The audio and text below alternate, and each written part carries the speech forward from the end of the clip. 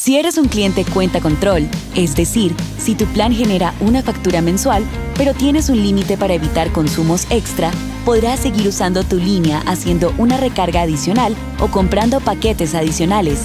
Aquí aprenderás a hacer tu recarga adicional en línea.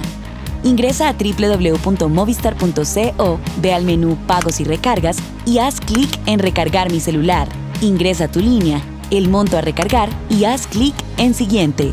Ingresa tu correo electrónico, elige si vas a pagar con tarjeta débito, crédito o PSE, sigue los pasos y listo. También puedes hacer recargas en línea desde la app Mi Movistar. Ingresa tu cuenta, selecciona otros servicios, elige la opción Recarga saldo a terceros, ingresa tu línea, el monto a recargar y haz clic en Siguiente. Ingresa tu correo electrónico, elige si vas a pagar con tarjeta débito, crédito o PSE, sigue los pasos y listo.